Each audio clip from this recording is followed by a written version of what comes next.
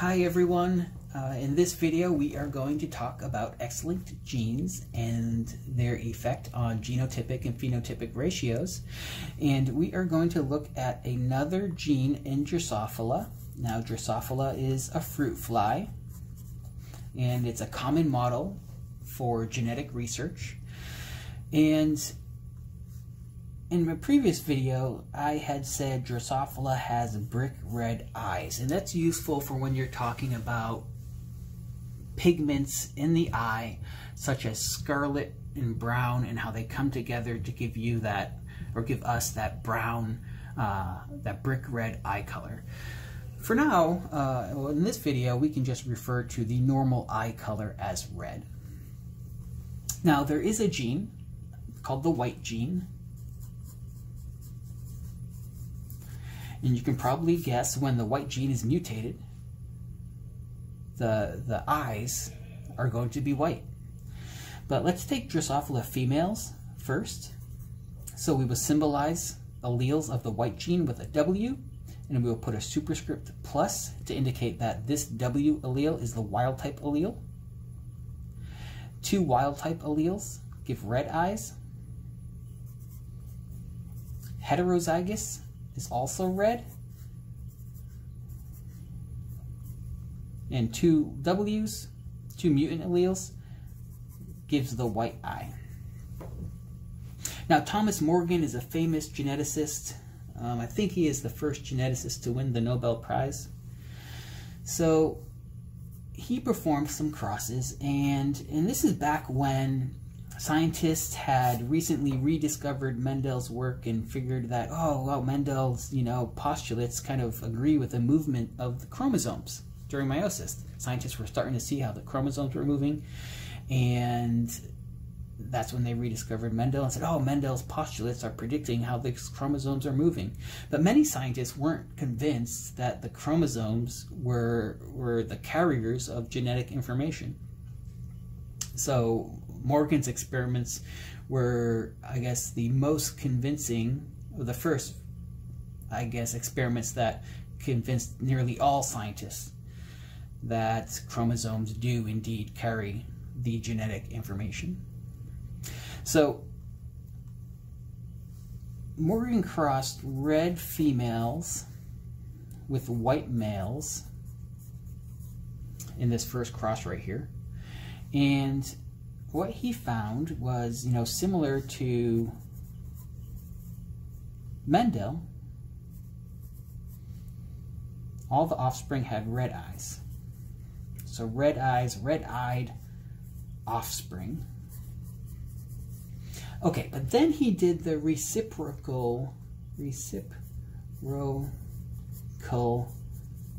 cross, reciprocal cross. And what does that mean? So to do a reciprocal cross, you have to have two opposite sexes. You have to be in an organism where there are two different sexes there. And then what you do is you switch the phenotypes.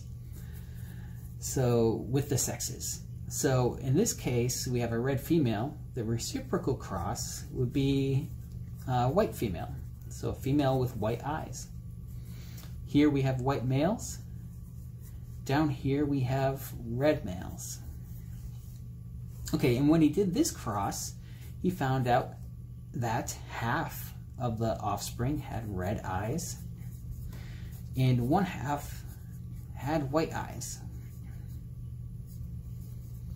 And the red-eyed flies were all females, and here's a symbol for female, and the white, so the red-eyed flies were all female, and the white-eyed flies were all male.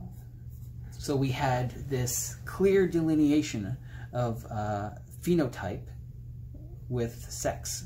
All the females were red eyes, all the males were white eyes. So huge difference here. So this is similar to what Mendel was seeing here. Well, this is not similar. And it's very interesting how the difference uh, occurs when you do the reciprocal cross down here. So what's going on? Eventually, Morgan figured out that you know the white gene this occurs because the white gene is on the X chromosome and now, sex determination in Drosophila occurs a little differently than it does in humans. In, in humans, the, the Y chromosome determines maleness. In Drosophila, I mean, I haven't studied this in a while, but I believe it's the ratio of autosomes to sex chromosomes that determines um, the sex of the fly. But what still holds is that typically females have two X chromosomes and flies that have one X and one Y are males. So this is similar between uh, females and males in Drosophila and humans. And we will get to sex determination in a future lecture. Yeah, but we will mostly focus on sex determination in humans. So typically, uh, typical standard old Drosophila flies, males are XY, females are XX. So we have this term here, hemizygous. So hemizygous is the condition where you have a diploid organism, but one uh, one sex. Let me see how to word this. So hemizygous, hemizygosity, I should say, occurs in um, this would be helpful when I, if I should have this definition here. I think I will uh, put the definition in the video here so because I'm kind of butchering this here. Hemizygous means you only have one allele, essentially. So males only have one allele for every gene on the X chromosome.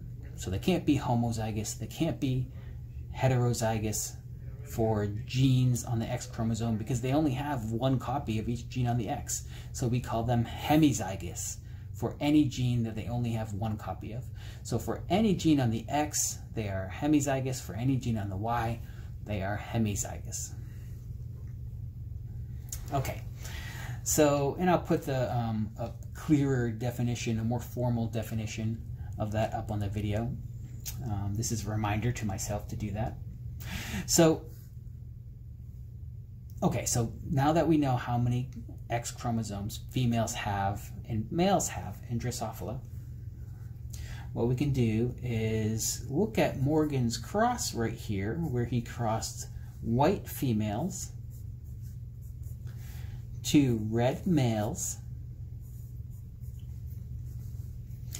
And this is the genotype of the white females. And this is the genotype of the red males. So notice we only have one allele here. And I find it useful to keep track of the Y chromosome with some symbol, any old symbol. I like to use this. This is what our um, textbook uses, the textbook this course is, is based off of. Some little symbol like this, just to, as a placeholder for the Y chromosome. Why don't we use a Y? Well, we're going to see another gene called, uh, I think, yellow body, which is Y. So that's why we don't use a Y to symbolize the Y chromosome.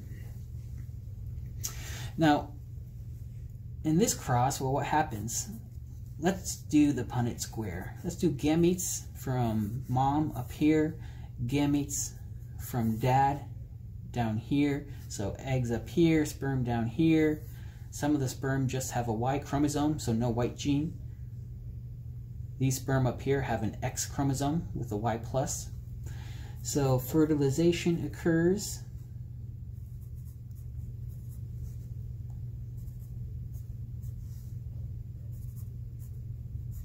and we have our four possibilities.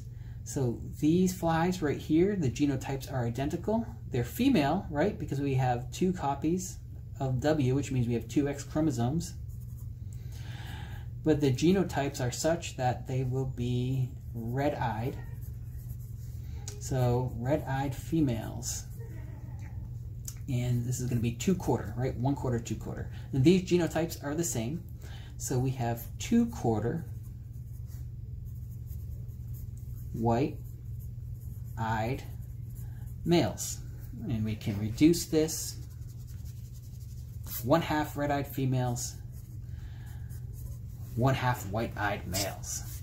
Okay, so that's how we get this strange, you know, one half to one half ratio, one to one ratio in the F1 generation when we're crossing these two flies together. And I guess, you know, we're not crossing a homozygote to a homozygote, right? We're crossing a homozygote to a hemizygote. And that's, you know, part of the reason why we get this strange ratio. Um, also because of the way that the mom here has the recessive alleles uh, for the, the mutant phenotype. Let's take a look at the other one where we don't see the uh, half red-eyed females to half white-eyed males. The reciprocal cross produces all red-eyed flies. Let's just take a look at that. I didn't go over this one in class because I wanted you to, to do it on your own. I'm pretty sure you can probably do it on your own at this point. But I have some time right now, so I will jot this down for the video. So red females cross to white males. Now, we'll assume the females here are homozygous for the wild type allele. The male is hemizygous for the mutant allele. I changed my Y symbol. We'll go with that one. Do the cross. We can set up the Punnett square.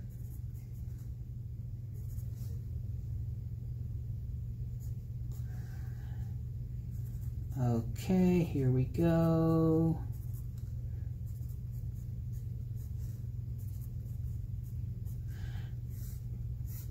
Now you can see here, these are the females. We see two Ws, that means we have two X chromosomes. So genotype is the same. So one quarter plus one quarter is two quarter, which is one half. One half red-eyed females because the genotype has at least one wild type copy of uh, the W gene.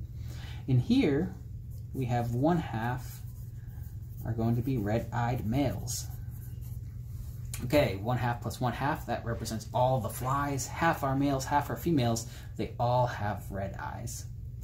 Okay, so that's how we derive the reciprocal cross um, involving the white gene and red-eyed and white-eyed flies. So that's basically it for X linkage, but that sets us up to go over um, linkage between two genes on the same chromosome, which we will start in the next video.